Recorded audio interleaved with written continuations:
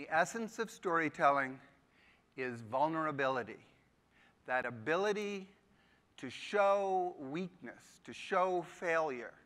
And it's something that's going to be very effective, I mean, very important for, for everybody in a retelling environment to learn how a great story always involves a certain amount of confession.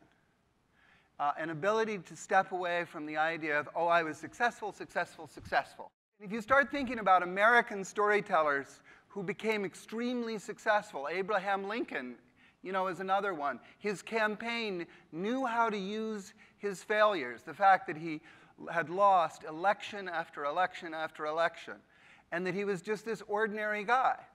Now, he also had a great strength to him, but he could always present himself as a loser. When Bill Clinton ran, uh, you know, in 92, he ran uh, talking about what his loss for the, gov- for the uh, governorship of Arkansas had meant to him and what it taught him.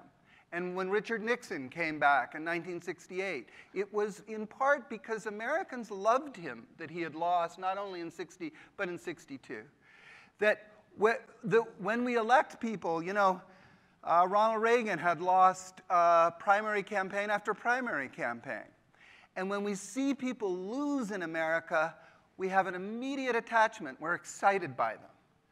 And, and it's, uh, it's so important to be able to show those losses.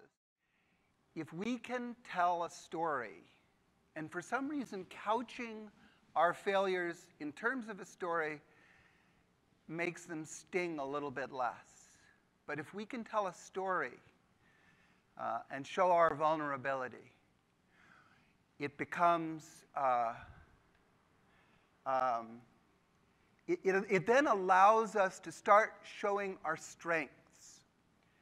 Now, you all know, for example, I'm just going to bring up a quick example. So, the, the difference between the story of Apple and the story of Microsoft.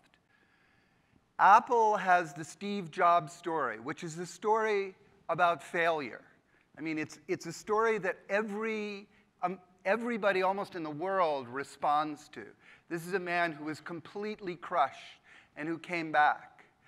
Now, it's also mixed with a great, powerful product, which is really important. And this is a man who really knew how to do some things well.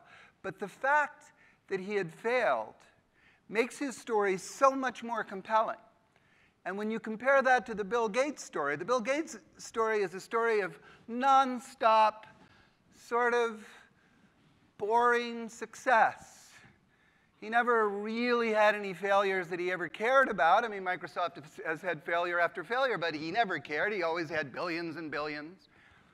And when you think, this, this is really interesting because there is a great story there somewhere, right? The story of Microsoft is that, they, is that the company is owned by dying children in Somalia. You know, that, that, that's where all the profits of the company's going to go to. So, so it really is a story that, that just cries out to be told in a new way that doesn't feel like they keep hammering us with success after success after success.